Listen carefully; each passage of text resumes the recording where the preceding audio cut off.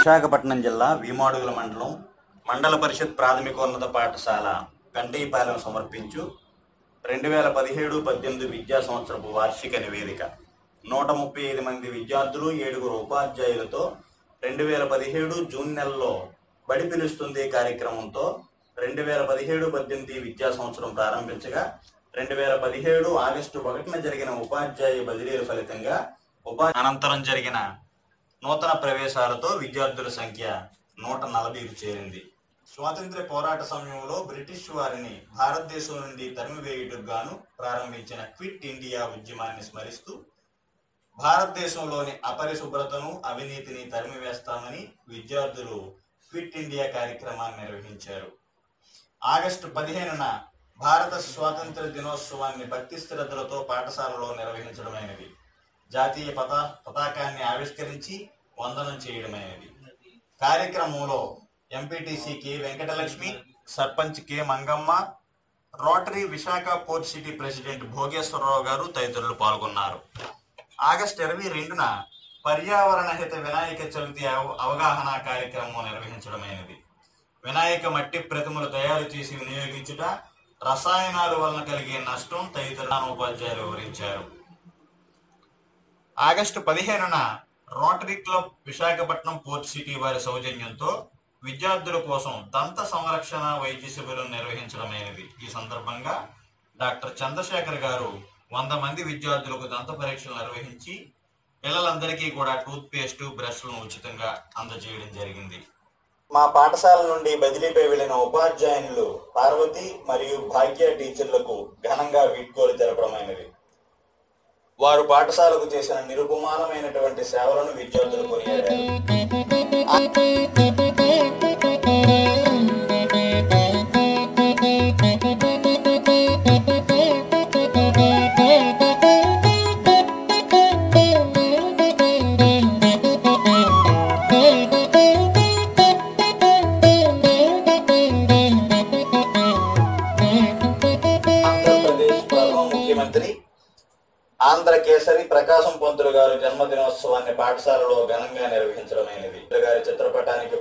వేసి అంజలి ఘటించారు. సెప్టెంబర్ ఐదు సర్వేపల్లి రాధాకృష్ణన్ గారి జయంతి. ఉపాధ్యాయ దినోత్సవంగా పాఠశాలలో ఘనంగా నిర్వహించడమైనది. సర్వేపల్లి చిత్రపటానికి పూలమాల వేసి నివాళి అర్పించిన పిమ్మట విద్యార్థులు తమ గురువులను ఉచిత రీతిన సత్కరించి శుభాకాంక్షలు తెలిపారు. విద్యార్థులే ఉపాధ్యాయులుగా మారి పాఠాలు బోధించారు. ఈ ఉపాధ్యాయ దినోత్సవం పాఠశాల మండల చరిత్రలోనే నిలిచిపోయే గుర్తింపు తీసుకువచ్చింది. ఎందుకంటే మా పాఠశాల ప్రధాన ఉపాధ్యాయులు గొడ్డేటి రవి గారు జాతీయ ఉత్తమ ఉపాధ్యాయ అవార్డుకి ఎంపిక కావడం విశాఖపట్నం జిల్లాకే ఆనందదాయకం. సెప్టెంబర్ ఐదున న్యూఢిల్లీలో విజ్ఞాన్ భవన్ నందు ఉపరాష్ట్రపతి వెంకయ్య నాయుడు గారి చేతుల మీదుగా అందుకోవడం మాకు పండగ. మా తరపున రాష్ట్రపతి భవన్ సందర్శించి రాష్ట్రపతి శ్రీ రామ్నాథ్ కోవింద్ గారిని కలవడం మాకెంతో గర్వకారణం. ఈ సందర్భంగా ఆయన ఢిల్లీ నుండి రాగానే ఆయన పనిచేసిన గత పాఠశాల ఎండాడ గ్రామస్తులు ఉపాధ్యాయులు అపరిమితమైనటువంటి ప్రేమతో స్వాగతం పలికి సత్కరించి తమ అభిమానాన్ని ప్రకటించిన తీరు వర్ణనాతీతం. కోతనపూడి పెంటయ్యపాలెం కొండయ్యపాలెం గ్రామాల పెద్దలు యువత ఉపాధ్యాయ విద్యార్థి బృందం జాతీయ పురస్కార గ్రహీత మన హెడ్ మాస్టర్ను సెప్టెంబర్ పదహారున ఘనంగా సత్కరించడం జరిగింది. ప్రపంచ ప్రపంచవ్యాప్తంగా పర్యావరణానికి ఏర్పడిన ముప్పు కారణంగా విచ్ఛిన్నమవుతున్న ఓజోన్ పొరను సంరక్షించాలన్న నినాదంతో ప్రపంచ ఓజోన్ దినోత్సవాన్ని పాఠశాలలో నిర్వహించడమైనది అక్టోబర్ పదిహేనున గ్లోబల్ హ్యాండ్ వాషింగ్ డేను విద్యార్థులు ఆసక్తికరంగా నిర్వహించారు. చేతులు శుభ్రపరుచుకునే విధానాలను ప్రదర్శించి అందరూ చేతుల పరిశుభ్రత పాటించి వ్యాధులను దూరంగా తరమాలని నినదించారు చేతుల అపరిశుభ్రత వలననే తొంభై శాతం వ్యాధులు పిల్లలకు వస్తున్నాయని అపరిశుభ్రత వలన కలిగే నష్టాలను ప్రధాన ఉపాధ్యాయులు వివరించారు. నవంబర్ పదకొండు భారతదేశ ప్రథమ విద్యాశాఖ మంత్రి డాక్టర్ అబుల్ కలాం ఆజాద్ జన్మదినమును జాతీయ విద్యా దినోత్సవంగా పాఠశాలలో నిర్వహించారు. ఆజాద్ చిత్రపటానికి పూలమాల వేసి నివాళులర్పించి భారత స్వాతంత్ర తొలినాళ్ళలో ఆయన విద్యాభివృద్ధికి చేసిన కృషిని శ్లాఘించారు. నవంబర్ పద్నాలుగు భారత్ తొలి ప్రధాని పండిట్ జవహర్లాల్ నెహ్రూ జన్మదినమును బాలల దినోత్సవంగా పాఠశాలలో వేడుకగా జరిగింది. నెహ్రూ చిత్రపటానికి పూలమాలతో నివాళులర్పించారు విద్యార్థులు పండిత నెహ్రూను కీర్తిస్తూ పాటలు పాడారు. అనంతరం పిల్లల వివిధ ఆటలు నృత్యాలతో బాలల దినోత్సవాన్ని సంబరంగా జరు నవంబర్ పంతొమ్మిదిన ఓల్డ్ మరుగుదొడ్లు వాడకపోవడం ద్వారా జరిగే అనర్థాలు వచ్చే వ్యాధుల గురించి చర్చించి గ్రామంలోని అందరూ మరుగుదొడ్లు నిర్మించి వినియోగించేటట్లు ప్రేరణ కలిగిస్తామని విద్యార్థులు ప్రతిజ్ఞ చేశారు. అందరి ఆరోగ్యం కోసం నేను మరుగుదొడ్డి వాడుతాను అనే నినాదాన్ని ఆవిష్కరించారు. నవంబర్ ఇరవై రెండున భారత గణిత శాస్త్రవేత్త రామానుజన్ జయంతిని జాతీయ గణిత దినోత్సవంగా నిర్వహించడం జరిగింది. రామానుజన్ చరిత్రను విద్యార్థులు వివరించగా ఆయన యొక్క గణిత మేధో పరిజ్ఞానం గూర్చి మూర్తి మాస్టర్ విద్యార్థులకు విశదపరిచారు.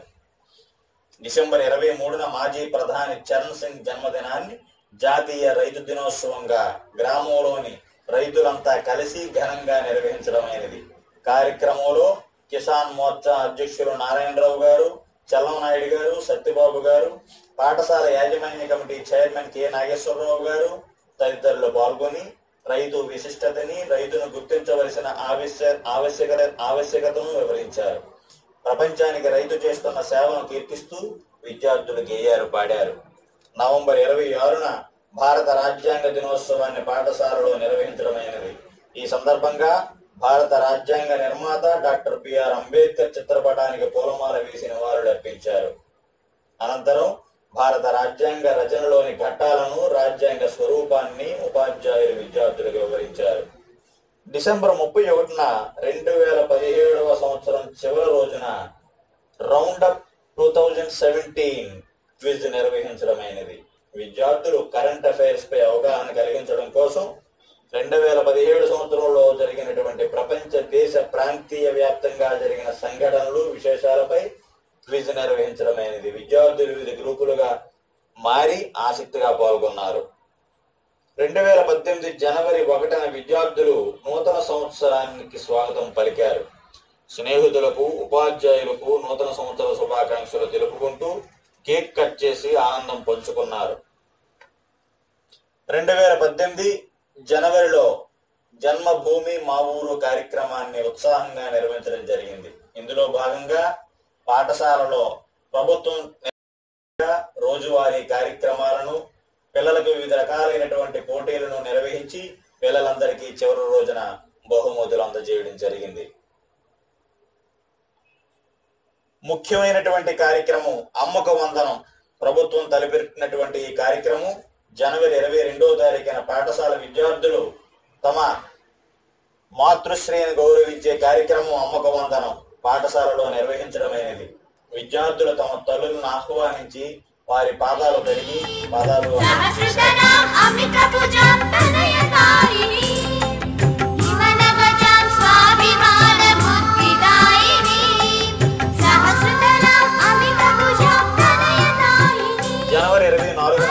జాతీయ బాలికా దినోత్సవం పాఠశాలలోని బాలికా విద్యార్థులు ఘనంగా నిర్వహించారు. బాలికా సాధికారత గురించి ఉపాధ్యాయులు బాలికలను ప్రోత్సహించారు. బాలికలకు వివిధ క్రీడా పోటీలు నిర్వహించి బహుమతులను అందజేశారు. రిపబ్లిక్ డే జనవరి ఇరవై ఆరు భారత గణతంత్ర దినోత్సవం. ఈ సందర్భంగా ఇన్ఛార్జ్ ప్రధాన ఉపాధ్యాయులు మూర్తి గారు పతాకావిష్కరణ చేసి ప్రారంభించారు. గ్రామ యువత పెద్దలు హాజరై పిల్లలందరికీ కూడా సందేశాలు ఇచ్చారు. విద్యార్థులకు బహుమతులు అందజేశారు. ఫిబ్రవరి పన్నెండున ప్రపంచవ్యాప్తంగా బాలలను సైన్యంలో వినియోగించడాన్ని వ్యతిరేకిస్తూ రెడ్ హ్యాండ్ డేను పాఠశాలలో నిర్వహించారు. విద్యార్థులు ఎర్రని చేయి చూపుతూ బాలల హక్కులను పరిరక్షించాలని నినదించారు మార్చి ఇరవైన మానవ జీవన విధానంలోని మార్పులు రేడియేషన్ నీటి కరువు మొదలగు కారణాల వలన అంతరించిపోతున్న పిచ్చుకలను రక్షించుకుందామని నిలదీస్తూ ప్రపంచ పిచ్చుకల దినోత్సవాన్ని నిర్వహించారు. ఇప్పుడు కాపాడుకోకపోతే మిగిలేది బొమ్మలే అని పిల్లలందరూ కూడా ప్రదర్శన చేశారు. ఫిబ్రవరి ఇరవై ఒకటో తేదీన మాతృభాషా దినోత్సవాన్ని నిర్వహించడమైంది. విద్యార్థులు ఈ సందర్భంగా వక్తృత్వ పోటీలో పాల్గొని మాతృభాష విశిష్టతను డిసెంబర్ పదకొండున యునిసెఫ్ డేను ఘనంగా జరుపుకున్నాం. పిల్లల రక్షణ కొరకు ఐక్యరాజ్య సమితి చేస్తున్న పనిని హెచ్ఎం రవి గారు వివరించారు. మార్చి ఎనిమిదిన ప్రపంచ మహిళా దినోత్సవం సందర్భంగా పాఠశాలలోని మహిళా ఉపాధ్యాయులను విద్యార్థులందరూ ఇతర ఉపాధ్యాయులు అభినందించారు. పాఠశాల విద్యాశాఖ ఎన్ఆర్ఐల సహకారంతో ప్రధానోపాధ్యాయులు ప్రత్యేకంగా మన పాఠశాలకు మంజూరు చేయించిన డిజిటల్ క్లాస్ రూమును ఏపీ జన్మభూమి సమన్వయకర్త శ్రీ పైలా ప్రసాద్ ప్రారంభించారు. స్కూల్ కాంప్లెక్స్ స్థాయిలో జరిగిన విజ్ఞాన శాస్త్ర నమూనాల ప్రదర్శనలో మన పాఠశాల ఉపాధ్యాయులు విద్యార్థులు రూపొందించిన బోధనోపకరణములకు ప్రథమ బహుమతి లభించింది. పాఠశాలలో వివిధ జాతీయ పండుగలతో పాటు దేశ సంస్కృతిని ప్రతిబింబించే వేడుకలు నిర్వహించడమే. పాఠశాలలో ఈ సందర్భంగా డిసెంబర్ ఇరవై ఐదున క్రిస్మస్ వేడుకలను పాఠశాల క్రిస్మస్ ఆనందం పేరున సంతోషంగా నిర్వహించారు. విద్యార్థులు శాంతా క్లాస్ టోపీలు క్రిస్మస్ అలంకరణలతో ప్రపంచ శాంతి నెలకొనాలని ఆకాంక్షించారు. రక్షణ కిరణము